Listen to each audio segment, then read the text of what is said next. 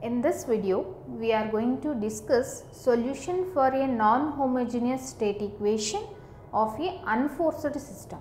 In the earlier class, we have discussed about same solution for a non-homogeneous state equation of a forced system. Now, the difference between forced system and unforced system will differ in state equation. Now, you can see the process.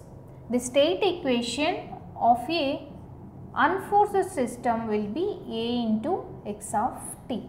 So, this will be state equation for unforced system. If it is a forced system, you are having another term A into x of t plus B into u of t. For an unforced system, we are not having the second term B into u of t. So, here x dot of t that means d by dt of x of t is equivalent to a into x of t will be the state equation for unforced system.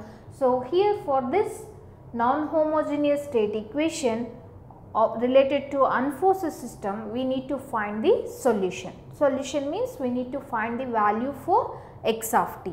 So, here both sides I am going to consider Laplace transform.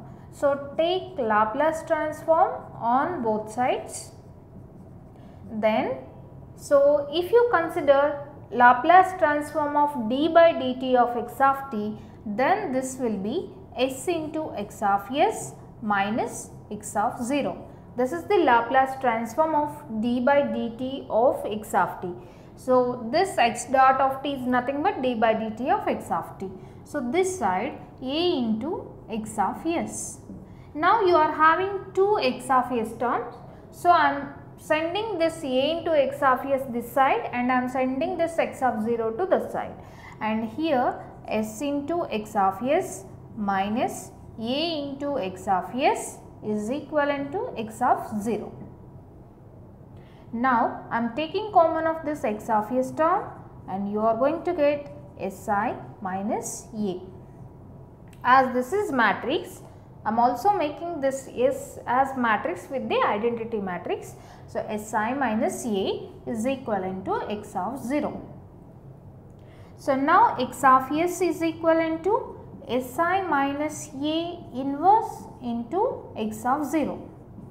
Now, if you want x of t, what we can do? So, we need to take inverse Laplace transform. Take inverse Laplace transform on both sides. So, if you take inverse Laplace transform on both sides, what you are going to get? So, inverse Laplace transform of x of s is equivalent to inverse Laplace transform of Si minus A whole inverse into x of 0. So, now this is equivalent to x of t. So, this is phi of t.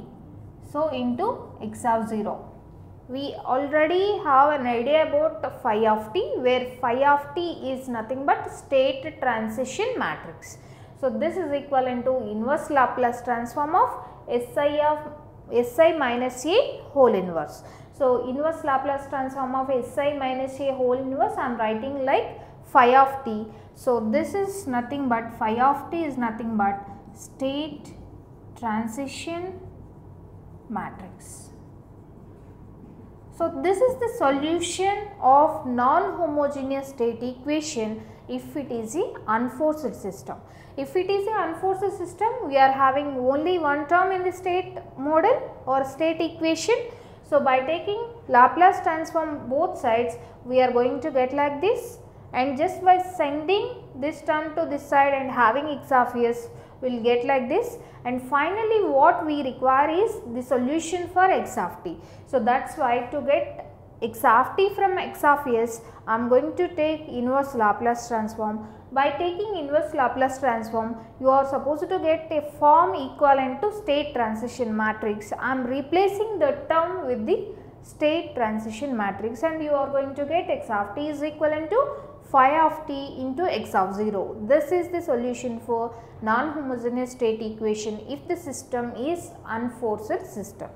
So, like this way you need to derive the solution for non-homogeneous state equation.